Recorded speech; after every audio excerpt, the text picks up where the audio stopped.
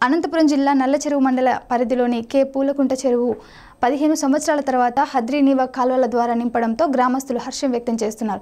చెరువులో నీళ్ళు లేని సమయంలో రైతులు ఇతర రాష్ట్రాలకు వలస వెళ్ళిపోయారని గ్రామస్తులు తెలిపారు. చెరువు నిండడంతో చుట్టుపక్కల గ్రామస్తులు నీటిని చూడడానికి తండోపతండాలుగా వస్తున్నారు.